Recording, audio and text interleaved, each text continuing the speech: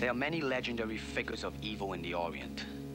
Some people say they are often driven back to action by their own malevolence. He is back. The legendary Bruce Lee as Kato, the Green Hornet's trusted sidekick. Masked menace of the martial arts. If you're looking for action, he's the one to find it.